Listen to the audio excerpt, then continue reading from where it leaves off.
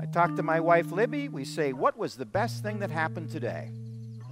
We go back and we think about the best thing that happened, that not the worst thing, because that's what we're most likely to say. Ah, you should have seen traffic today. No.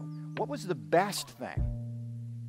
And by recalling that and saying it out loud, we are in essence living it twice and increasing the odds that we will remember the very best parts. You see, I have a dream. And the dream is that when I am 85 years old, I will say with confidence that I lived a wonderful life. And when asked for proof, I will bring memories and detailed data that prove the life I led. And that is something that I am building